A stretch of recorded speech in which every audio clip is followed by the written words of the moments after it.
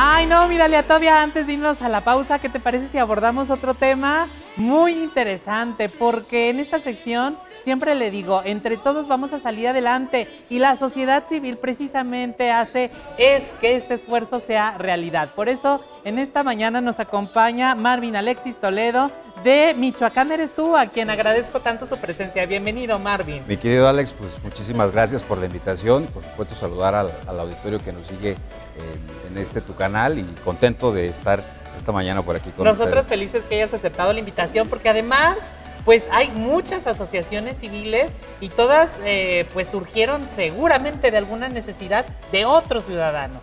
Sin duda, Alex, hoy decirte que eh, aparte de la situación que vive hoy nuestro país, la herramienta que tenemos como organizaciones eh, ciudadanas, pues es el gran instrumento con el cual vamos a poder eh, cambiar y articular algunos esfuerzos para tener una mejor realidad en nuestro entorno. Sin duda, cuando surgen, Michoacán eres tú, que es la institución de la cual, la cual presido y que fundé con algunos compañeros, amigos, pues surge precisamente de las necesidades que existen en el contexto social, necesidades eh, que tienen que ver con eh, eh, asistencia médica, asistencia jurídica, servicios, becas, etcétera, y decidimos constituirnos, darle formalidad a estos esfuerzos que de manera informal veníamos teniendo.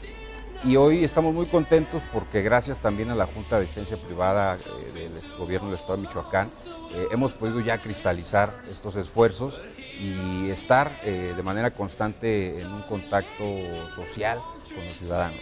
Y es que hombro con hombro vamos a salir adelante, mi Marvin. cuéntanos cómo ayuda Michoacán eres tú a esas ideas que apenas están surgiendo.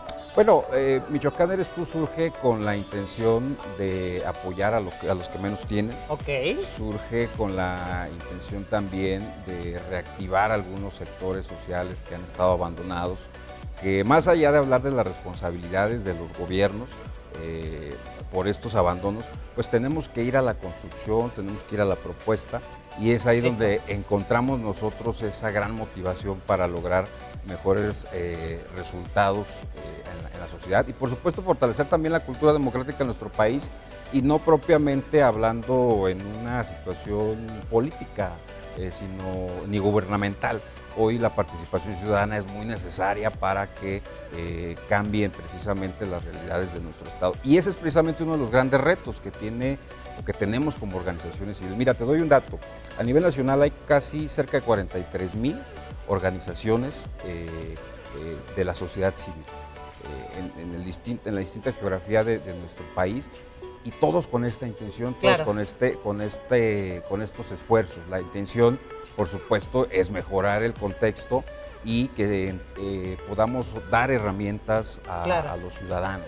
Lo cual demuestra que todos poco a poquito estamos entendiendo mejor esta, esta forma de ayudarnos entre nosotros, ¿no? El hecho de que haya tantas organizaciones civiles, me imagino que es un reflejo de eso, de que entre, todos nos estamos ayudando a, sumar esfuerzos. Sin duda, eh, y a eso iba, ese es el gran reto, porque también nosotros como organizaciones tenemos una gran responsabilidad de conducirnos con valores, con convicción, con vocación de servicio y por supuesto con la convicción plena de mejorar nuestro entorno y de que nuestras causas con las que nosotros surgimos las podamos cristalizar en políticas públicas. Es ahí donde muchas organizaciones en algún momento pues bajan las banderas porque eh, hay impedimentos, acabamos de vivir una reforma eh, que ha sido un tanto cuanto lesiva para la vida interna de las, de las organizaciones en materia fiscal sobre todo. Sí. Y eh, hoy estamos, quienes hacemos activismo desde la sociedad civil, sin duda necesitamos de recursos para poder estar avanzando.